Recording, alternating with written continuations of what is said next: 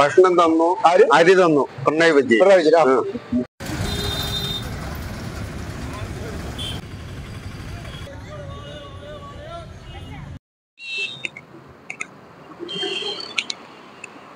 അപ്പൊ പാലക്കാട് മണ്ഡലത്തിൽ മൂന്ന് സ്ഥാനാർത്ഥികൾ പ്രഗത്ഭരായ മൂന്ന് സ്ഥാനാർത്ഥികളുണ്ട്.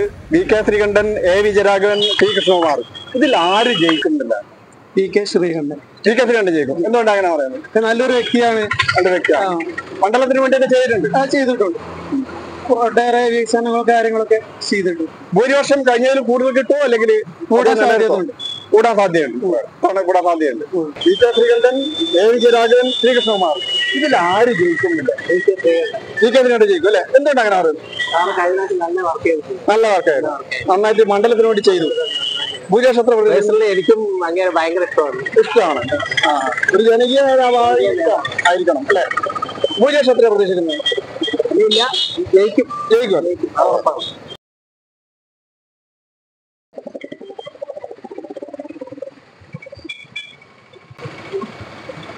അപ്പൊ ഈ മണ്ഡലത്തിൽ ആര് ജയിക്കും എന്നുള്ളതാണ്? മണ്ഡലത്തിൽ പാലക്കാടിൽ മാക്സിമം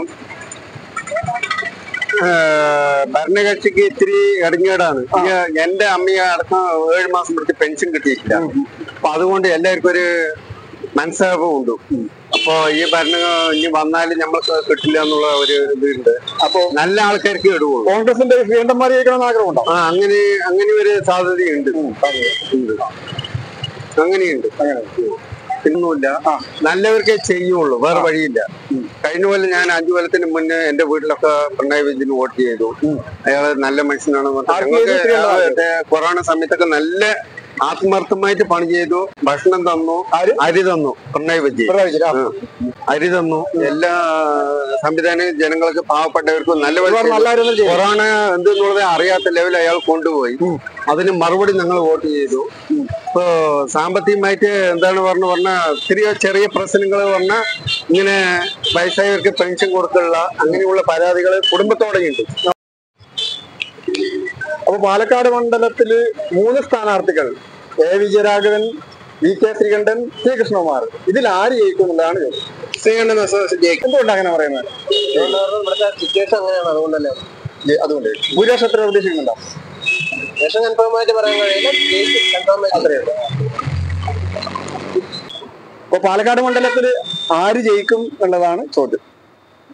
അതിപ്പോ പറയേണ്ട ആവശ്യമില്ല. V K Sreekandan. ശ്രീകണ്ഠൻ ജയിക്കും. എന്തുകൊണ്ട് അങ്ങനെ പറയാൻ കാര്യം?